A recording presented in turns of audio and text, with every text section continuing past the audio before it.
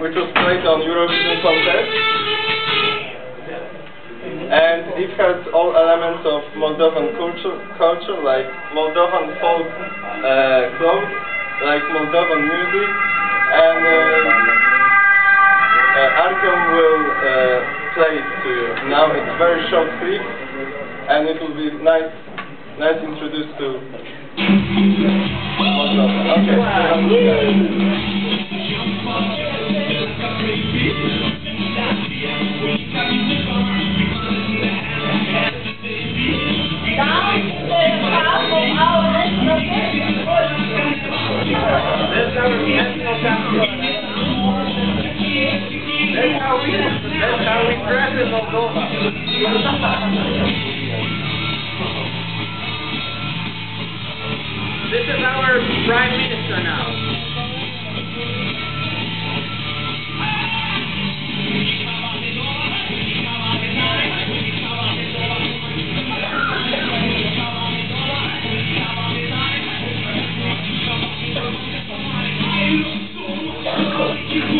Thank